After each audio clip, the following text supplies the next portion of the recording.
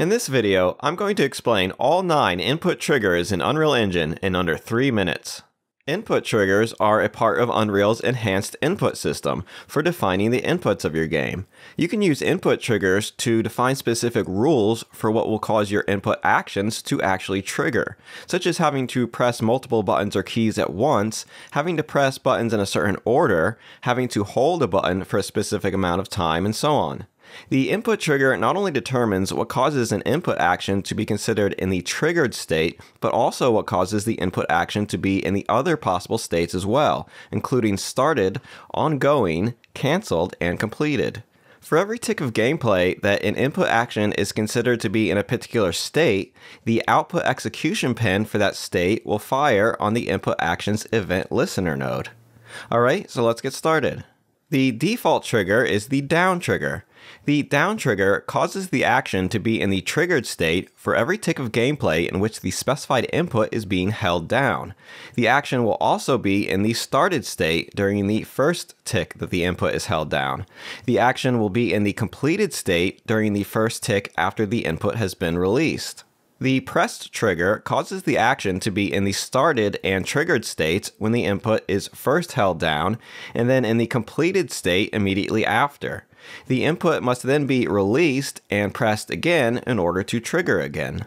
The release trigger causes the action to be in the started and ongoing states when the input is first held down, in the ongoing state for every tick of gameplay that the input remains held down, in the triggered state as soon as the input is released, and then in the completed state.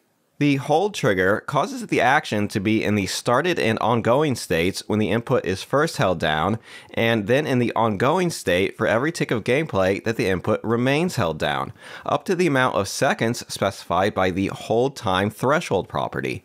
Once that amount of time is reached, the action will be in the triggered state for every tick of gameplay that the input remains held down, and then in the completed state once the input is released.